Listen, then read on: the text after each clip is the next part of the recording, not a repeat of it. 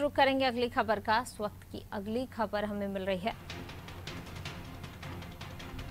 CM Shivraj Singh Chouhan Panchsheel Nagar पहुँचे हैं।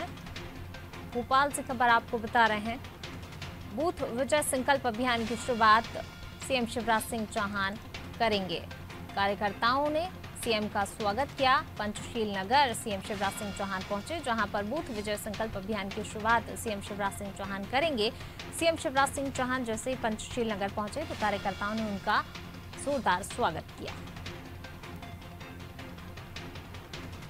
आज से बीजेपी के बूथ विजय संकल्प अभियान की शुरुआत हो रही है। बीजेपी बूथ लेवल पर अब मजबूती की दिशा में लगातार कदम बढ़ा रही है। बूथ लेवल पर लगातार काम किया जा रहा है और आज से बूथ विजय संकल्प अभियान की शुरुआत होगी। कार्यकर्ता हितग्राहियों से संपर्क और संवाद करेंगे तो बीजेपी बूथ लेवल पर भी